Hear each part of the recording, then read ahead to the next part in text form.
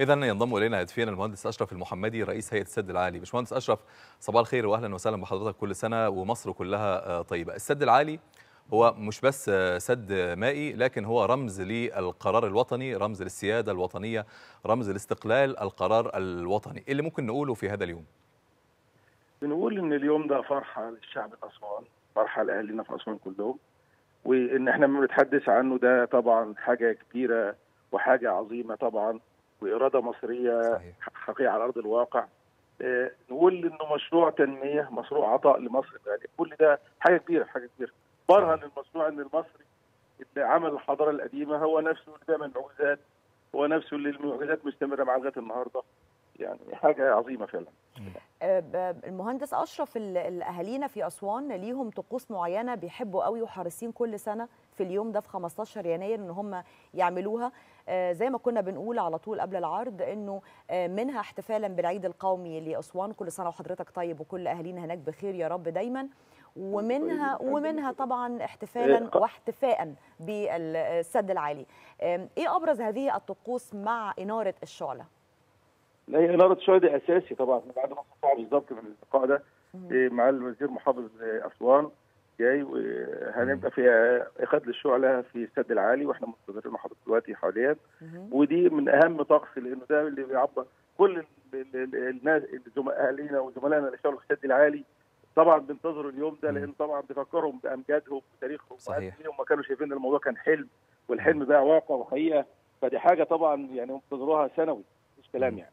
آه، ده, ده العيد الذهبي آه، مهندس أشرف بقى لنا 50 سنة على الافتتاح. 61 آه 61 61 سنة آه عن الافتتاح السد العالي. النهارده آه طبعا. ودايما في تطوير لمنشأة السد العالي و... واحد 51 يعني السنة اللي فاتت كانت ال 50 الذهب السنة اللي فاتت السنة دي مش 71 يا فندم؟ وإحنا 2000 لا، إحنا آه آه، 22 آه، معلش. أنا برضو بحسبها على أنا بحسبها على 2021 طيب آه آه، السد العالي دايما بيكون فيه تطوير دايما بيكون فيه تحديث. إيه أهم المشروعات المتعلقة بتطوير وتحديث السد العالي؟ اللي إحنا شفنا أهميته معلش يا مهندس أشرف شفنا أهميته في الفيضانات اللي كانت السنة دي أو السنة اللي فاتت تحديدا والسنة اللي قبلها وتقريبا مرت بالسودان ووصلت لمصر لولا السد العالي لكنا في, في, مشكلة يعني. هو طبعا المشروع في. أول خالص في بدايته خالص هو طبعا كان عرض يعني إنه بيتكون من ثلاث حاجات اساسيين هو طبعا السد العالي والبحيرة ناصر بالنسبة للرئيس جمال عبد الناصر الله يرحمه ومحطات توليد الكهرباء فهو هو مشروع متكامل على بعضه تم وكان لازم يتم لأنه كان الأول طبعا الفيضانات بتيجي عالية جدا وكانت بتدخل تضيع تدمر حاجات كثيره جدا وتهد حاجات كثيره جدا. طبعا النهارده بعد إنشاء السد العالي هو البحيره بتعمل تهدئة للمية وتهدي الدنيا ما عادش بيحصل اللي كان بيحصل زمان. مم. وطبعا إحنا طبعا وتوسعنا في الأرض الزراعية يعني ما بعد في ما كانش نقدر نزرع المساحة دي كلها وكان يبقى في صناعة ولا كان يبقى في استثمار ولا تنميه ولا زيادة. طبعا بعد إنشاء السد العالي كل الدنيا اتغيرت. طبعا. يعني حمل البلد من الفوق يعني ثبت للناس كلها قدرة المصريين على تحدي صعاب يعني الثروة السمكية نفسها ما كناش نقدر نتكلم فيها. صحيح. مجالات كثيره أضافها السد العالي ما فيش كلام. وإحنا طبعا كسد عالي يعني إحنا طبعا قائمين عليه وكل الاحتياجات اللي بنحتاجها بنطورها وبنحسن بنحسن أدائها. مشروعات كثيره بنقومها السد العالي وبنقومها داخلها. بس حاجات يعني ما يعني ما ما تتح- ما تتقالش يعني. كتير كتير حاجات يعني أنا أنت بتروح نبض مصر قلب مصر كلها.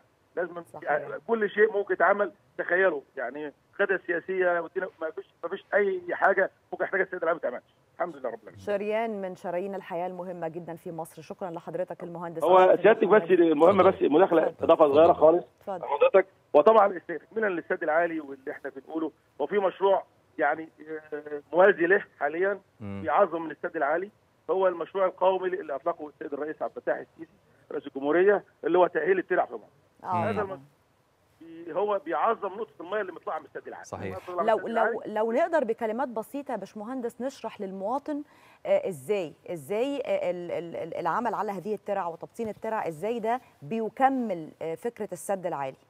طبعا هو الميه طبعا بتتصرف في السد العالي. كانت بتروح في مجاري مائية صغيرة. المجاري المائية دي طبعا كان فيها رشح عالي كان فيها عوائق كتيرة جدا. كان فيها مشاكل بتقابلنا في الترعه. آه، نحر جامد. آه، ترسيب جامد في القاع نتيجة لمرور المية. برضه كمية الميه. تبخر عالي. الكلام ده كله إحنا رجعنا الترعه لأصلها.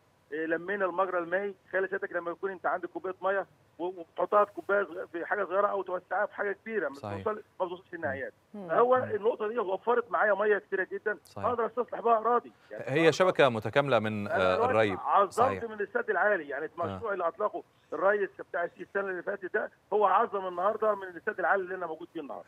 هي شبكة متكاملة من الري بداية من السد العالي ومجرى نهر النيل وصولا إلى الترع إلى آه، شمال آه، الدلتا إلى البحر المتوسط. على أي حال على أي حال المهندس أشرف المحمدي رئيس هيئة السد العالي شكرا جزيلا لحضرتك على وجودك معنا آه، في هذا الصباح وكل سنة وكل أهالينا في أسوان بخير ومصر كلها آه،